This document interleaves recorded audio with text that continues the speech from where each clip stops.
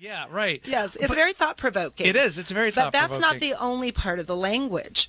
There, there are other things that I started to hear Mm-hmm. in working in people's homes with the clients that I really did not hear clearly when I was a therapist. Okay. And the second part is indecisive language.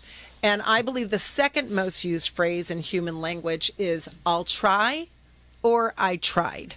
And those are that's an indecisive statement. It means absolutely nothing to the subconscious process. Mm-hmm. So what goes along with indecisive le- indecisive language is if, but, when, could, should, maybe, someday, sometime, probably. I'll think about it. And the most popular two indecisive words combined now. What? Kinda, sorta. Oh yeah, of course. Oh, kinda, sorta. Kinda, sorta, or sorta, kinda. Kinda, sorta, ki- Now, I had a woman that called last week and she said, I kinda, sorta need to get organized. Oh, I bet you went off through the roof with that one. Well, that's a very indecisive, needy person. They're so blocked with indecision and need. Yes. They they're they're most likely uh, not going to be an ideal client. Perhaps not ready. Mm-hmm. Um, but what I do is when I explain to them that it kind of sort of is indecisive and Uh-huh. it's not a need, then very quickly I'll get to figure out if they really want to do the project or not. And of course, nobody wakes up in the morning and goes, "Oh, goody, Mm-hmm. I get to clean out my garage or my pantry." Right. So you know, it's Uh-huh. it's you know right up there with moving. You know, It's hard. It's, It's- difficult. It's, it is. It's difficult. It's time difficult. consuming. It's physical labor. But what this is using I need and I'll try and stuff, it affects the subconscious mind because when you hear need, you don't want to do it. I need to do this. Well, we're Right. needing ourselves to death, or in essence, needling ourselves to death. Mm-hmm. And it only puts pressure on us. And those things are not needs. You don't even need to pay your taxes. Honestly, you will get in trouble, Right. but you're not going to die. right. Needs are things that if we don't do them, we will die. Right. So everything else is you either want to do it or you do not want to do it, or you will do it and you won't. And the thing is, is that we have replaced the word will with need. Yes. And need used to mean necessity, and now it has changed even in the dictionaries to mean desire. Really? Yes, yes. Uh-huh. So when it meant necessity, obviously uh, a farmer in the 1800s wasn't saying, "Honey, I need to go plow the field." Right. He was saying, "I'm going to plow the field now, honey, Yes. or I will plow the field." Right. So need came in, I believe, in early media days Mm-hmm. with radio and television when they wanted to sell products. Okay. And so we adopted this thing that we need everything. Everything now is a need. Uh huh. Like, Dad, I need the new iPhone. Exactly. I mean, that's a good at like. No, you want it, but you don't need it. I mean, if you go through your life and or your day, you can. I mean, how many times you say need people, Mo- most people say need a thousand times and it just day. makes them sound so needy. Well, and you know, I work with people that are highly intelligent professors at Mm-hmm. UC Irvine, UCLA, uh, scientists, doctors, attorneys.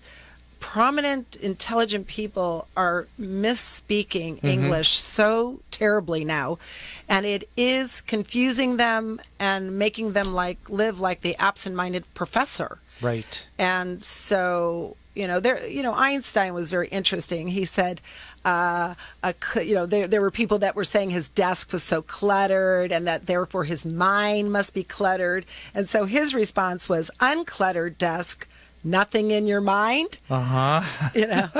but obviously he had assistants, I'm sure, and people that were helping him find his things if they were under a huge pile, or he just was able to find them, you know, after looking for a couple hours.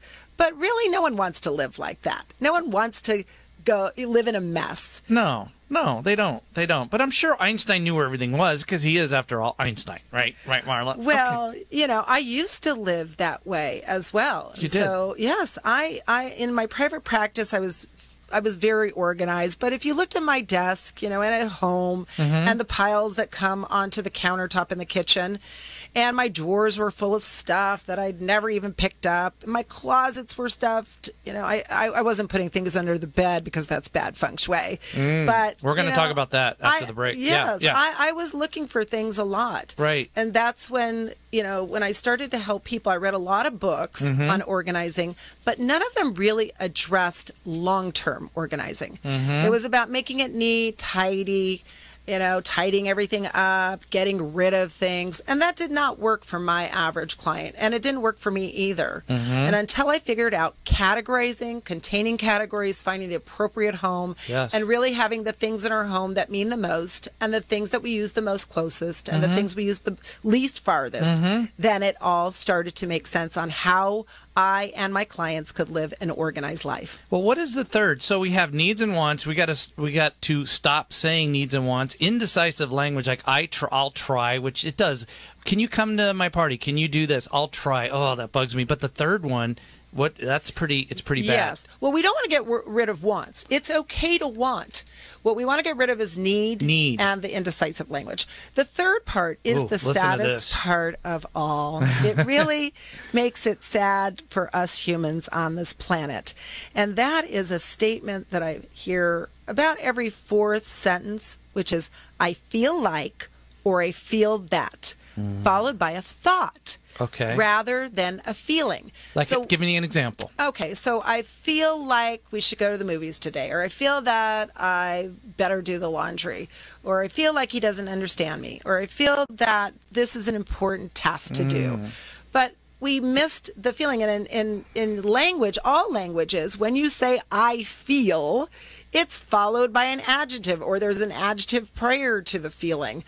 Uh, So it's, it's Give me an example. it's- So it should be, so I we- feel We want to say I feel enthused, I feel hurt, disappointed, abandoned, disregarded, right. uh, overwhelmed. I'll hear I'll hear frustrated at times. I'll even hear I feel pissed, which is not even a word, a- Okay. a, real feeling. okay. So what we we have about four feelings for every feeling we're feeling. Okay. And we feel so many things. Uh, feelings are nature. They're like nature. They just keep coming. Okay. Uh, there's there's a, a prominent feeling though that I suspect many people are feeling today, and that's apathy, which yep. is a Oh, boy. you Yes. you know, and Yeah. that means that we've just stopped caring and we're angry about it. Another feeling, for example, is jealousy. Jealousy is a feeling of feeling unloved and angry about it. Mm-hmm. So, but we don't say I feel jealous. We say I feel like he's dissing me. Mm-hmm. so our language is crumbling and it's you know, we're not being defined really as human. We're really becoming more robotic yes. you know, extremely needy for everything and mm-hmm. completely indecisive. So no wonder America Yes. and actually internationally, business is our their productivity and efficiency levels way down. Yes. Employee motivation is way down. We have a high turnover of employees now because we just keep thinking the next one's going to be more productive, mm-hmm. more with it, have better follow through. And it's not true because this is an epidemic mm-hmm. of poor language usage, increasing chronic and perpetual disorganization. and not just in the United States. This is across all Everywhere. languages, right? Exactly. The need, the It- need. that I need. In fact, I've talked to people in India, China, uh, Germany, France, uh, all over, asking them, "Is this happening to your language? Are Yes. you saying I need instead of I will?" And the answer is yes. They have a phrase to not say I will, right. and I believe we've lost our will. Mm, yes. Yeah. That's that's what's so sad. Right. And the language perpetuates it subconsciously. Is that right? Well, Our you know, our our we're we're we're not that complicated, you know, uh, uh, like a computer, but in some ways we are complicated. Yeah. So you know, if you go back to psychology 101, we have an ego. You know, that's who we are. Right. You know, I'm an organizer. You're a talk show owner, a TV show company Director, producer. Let's uh, get those you know, credits in. uh, yeah. Yes. we have the id. Yeah. Okay. Then we have id super ego. That's the Yeah, right. parent, the bad parent, good parent. You know, Right. oh, don't eat that ice cream. Oh, yeah, I'm going to eat that ice cream. oh, don't go to the zoo today. Oh no, I'm going to the zoo today. Right. And you know, and then we have our conscious mind. That's what our mind is on, you Right know, now. i- in the Right. moment, Sure. in the now. And then we have a subconscious. Yes. And then we have an unconscious process. The Okay. unconscious process is really just the pool of everything that's ever happened to us. Right. And it's all recorded in there. It's all in there. Even if somebody said to you, Oh, don't you remember that day we went to the market and you lost your purse? And the person says, No, it's still in there. Sure, It's right. still there. It's in the unconscious. And, you know, something may trigger it to come up Yeah. up to the subconscious process, and the subconscious process will then let it flow to the conscious mind. Okay, so the subconscious is a barrier between the conscious and the unconscious. The unconscious Conscious. and the and the conscious, yes. Right. And so And yeah. so the subconscious also though, the biggest part of the subconscious, Yeah. it's our driver to get us to get to our dreams and goals. Mm, and the language is how does the language play with Well, that? Well, the quick? language will either let your dreams and goals occur Uh-huh. or it will block you from ever reaching your goals and, dreams. And that's what's happening, Paul, with the needs and wants and the I feel that. So instead of I feel that, let's give the listeners a tip. We should say, or not I- should say, I shouldn't even say that. Exactly. What That's is correct? Yeah, well, what's what's correct to corrective s- is to say? I I No? I feel hurt or I and also Right. with the indecisive, it's I will or I won't. Uh, and get rid of indecisive. You either want to do something or you don't want to do something. And it's okay to contemplate in the want stage do I want this? Do I really want this? A lot of times when we're saying I need, and then I help a client to say, this is not a need, this is a want or don't want. Do you want to do this?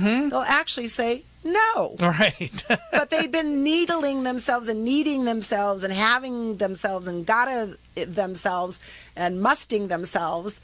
And when they actually stop to think about what they truly value in life Yeah. and what they really want to do in life, uh, that action or whatever they thought they quote needed to do, um, when it didn't, when it Right. you know became a want or don't want, they realized it just didn't even match up with goals or dreams or life goals or even short-term goals, and so they just stopped thinking about it. Right. And so, but the most important thing Yeah. is to say, I will do my laundry. I will pick up my home. I will go to the dry cleaners. I will go pick up the kids. yes. But here's the thing if any of those things that you think you want to do and you will yourself to do, if they're so difficult for you and they make you feel so uncomfortable. Mm-hmm. Yeah. You know, for instance, I hear a lot of moms say, Oh, I got to go pick up the kids. And I'll say, No, you don't got to go pick up the kids. Do you want to go pick up the kids? And they're like, No, I'm a human bus driver. Mm-hmm. It's so distasteful to me. You know, I, I have a master's degree like you, Marla. I'm an intelligent person, and really I've become a bus driver. So, my answer to Yeah. that is very simple find a, a mom's group, find another mom that loves to go cart the kids around, and then you do something for her. You know, you pet sit, Mm. Right. Or you take the kids when they want to go on a date. Really push it. When I have a saying that says, "When you push, you fall." So there's so many tasks in life that we are thinking that we must do, Right. And and it's not a must. We don't must do anything except those seven things, Right. Right. and that's the air, food, water, shelter, sleep, elimination, and the sunlight. Got that, Paul? Yes, the seven things that keep us alive. Okay. So I tell mothers, stop Yes. doing the things that you don't want to do. Trade, trade in, get somebody to help you, and really figure out what you value in life. Fantastic. Well, we are going to take a break. And before we take a break, let's plug your website. It is www.i-deal-lifestyle.com and then I also have www.orangecountyprofessionalorganizers.com and www.orangecountydecorators.com and wow. Go ahead. Go ahead. www.fengshuiorangecounty.com and also southocwellness.com which is my business organizer organizing business website which also uh, the other thing that we haven't talked about, but we'll talk about Yeah. soon, is that I do workshops and training Right. programs for uh, corporate 1,000 companies all the way down to small businesses to increase the productivity and efficiency of their employees. I can't wait to get to that. And uh, and GoDaddy is happy because Marla has cornered the market with organizing uh, domain name. Yes. So Paul is getting ready to take a break. I'm John Marchese, and we will be back in two minutes.